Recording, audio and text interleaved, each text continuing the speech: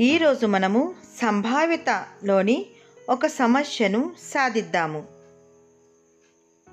ఒక సంచిలో ఒక ఎరుపు బంతి ఒక నలుపు బంతి ఒక పసుపు బంతి ఉన్నాయి. అన్ని బంతులు ఒకే పరిమాణం కలిగి ఉన్నాయి. దాన్ని చూడకుండా ఒక బంతిని తీస్తే ఆ బంతి పసుపు లేదా ఎరుపు లేదా నలుపు రంగు బంతి అవ్వడానికి సంభావ్యతను కనుగొందాం.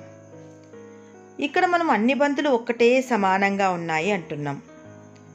చూడండి ఒక సంచిలో ఎరుపు బంతి పసుపు నలుపు బంతి ఉన్నాయి. దీన్ని మనము చూడకుండా మనము తీయాలి. మొదటగా మనం ఒక బంతిని తీద్దాం. అది నలుపు బంతి రావుటకు సంభావ్యత. నలుపు బంతి ఎన్నున్నాయి? ఒకటే కదా? నలుపు బంతి రావుటకు అను ఘటనను బి అనుకుందాం. P of B is equal to అనుకూలం ఏంటి? ఒక బంతే ఉంది. మొత్తం ఎన్నున్నాయి? మూడు బంతులు. కాబట్టి అనుకూల పర్యవసనాలు బై మొత్తం పర్యవసనాలు. ఏమవుతుంది? ఒకటి అనుకూలం ఒకటి బై మూడు. ఇప్పుడు ఎరుపు బంతి రావుటకు సంభావ్యత తెలుసుకుందాం. ఎరుపు బంతి రావుట అను ఘటనను ఆర్ అనుకుందాము.